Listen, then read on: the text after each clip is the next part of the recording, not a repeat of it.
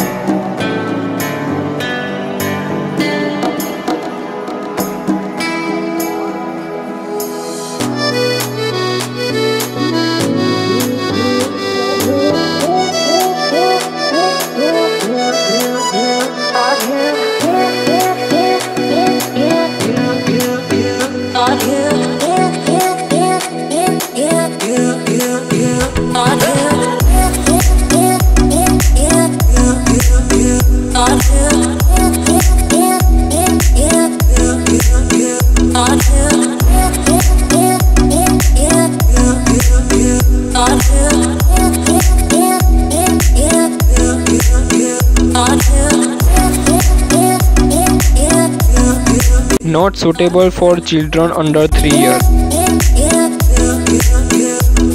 years.